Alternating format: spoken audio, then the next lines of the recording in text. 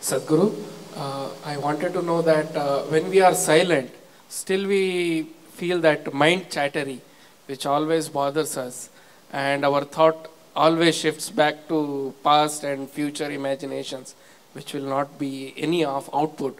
How to get rid of it? A whole lot of uh, thought about this thoughtlessness. Thoughtlessness, no mind, these kinds of terms have been propagated all over the place and these terms have been badly misunderstood and made into all kinds of things and people are striving how to stop my mind. It took millions of years of evolution to get a mind of this kind of capability, hmm? isn't it? Millions of years of tremendous amount of nat- nature's work that today you have a mind of this kind of scope. And now you want to stop it. Why is it that you want to stop it? If your mind was constantly producing absolute pleasantness for you, would you think how to stop this mind? Would you? No. It's producing lot of unpleasantness. That's why you're thinking of how to stop the mind. This is the first thing, wherever you go in the world, this has gone so much into people's mind. If you uh, tell them you meditate, they say, but Sadhguru, I, I'm not able to stop my mind.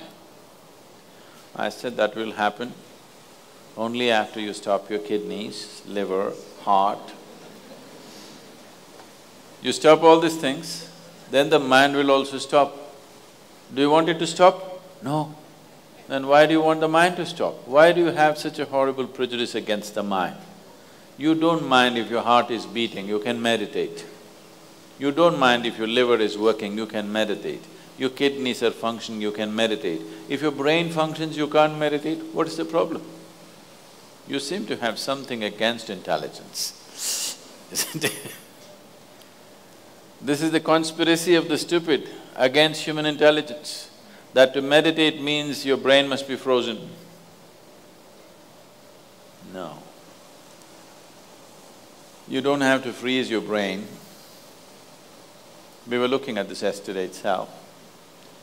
We will initiate you into Shambhavi. It's a simple process. There are many ways to do it, this is one simple way. But it's a powerful process. If you sit here, you will see your body is here, your mind is somewhere, who you are is somewhere else.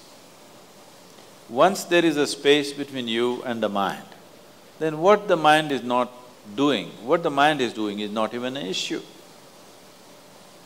It is like you're stuck in the traffic jam. You know, you're struggling through the traffic. That's one experience. Suppose you are uh, either standing on Chamundi Hill or you're floating in a hot air balloon and look down at all the traffic.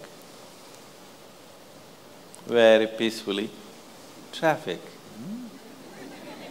Why? To the distance, isn't it? When you're in it, traffic is a different experience. From really high up there, sitting in a hot air balloon, you look down, you can't even hear the sounds. Looks wonderful, traffic, isn't it? Yes or no? Because there's a distance. So once there's a distance between you and your mind's activity, mind is not a problem. Mind is a miracle, it is not a problem. And anyway, if thoughts are going continuously, if you're having a mental diarrhea, obviously you ate some bad food, isn't it? Yes. If you're having a physical diarrhea, you ate some bad food, isn't it? If you're having a mental di diarrhea, you are obviously consumed something wrong. What… what this wrong thing could be is, the moment you identify yourself with something that you're not, then you're finished. Your mind is a continuous runs. There is no other way. Do what you want, try as hard as you want, it is not going to stop. If you do not identify yourself with anything that you are not, you know how to be with everything, you know how to use everything, but you're not identified with it, then you will see if you sit here, simply mind will be like this. You want to use it, you can use it, otherwise it'll be like this. Right now your hands are like this, or you're holding it tied up because it'll go all over, is it? No. You can keep it like this. You can keep it like this, you can keep it like this.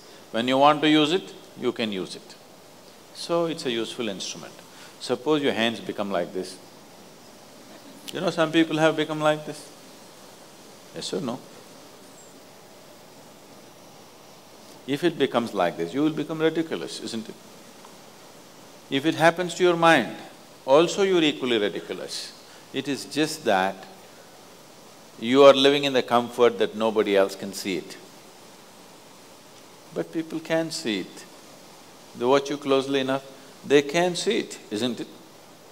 And whether they can see it or not, that's not the point. The point is, the most important faculty of your life is out of control. Doesn't matter whether they can see it or not, that's not the issue. The issue is the most important faculty in your life is out of control, doing its own rubbish all the time, not doing what you want it to do. So, if you have to be freed from this ailment, you should stop eating bad food. Wrong food or bad food means you are identifying yourself with things that you are not. If you sit here, if you're not identified with this and with this, then you will see everything is just fine.